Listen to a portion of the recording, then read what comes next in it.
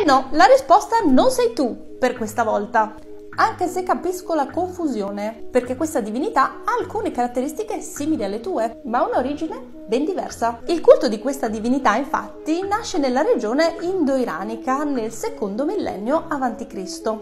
e giungerà a Roma solo nel primo secolo a.C diffondendosi qui come culto misterico, come dice la parola stessa, quindi legato ai misteri, una cosa da iniziati insomma. E infatti sono ben sette i gradi di iniziazione a questo culto ed ebbe particolarmente successo tra i soldati romani perché si tratta di un culto salvifico, cioè un culto che ti promette la salvezza eterna. Questa divinità nella maggior parte dei casi viene rappresentata nell'atto di uccidere il toro in sacrificio.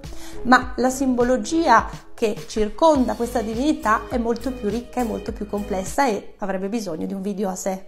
Anche a Roma questa divinità è legata al culto del sole e addirittura a un certo punto verrà assimilata al Sol Invictus, cioè al sole invitto, il sole che non viene vinto.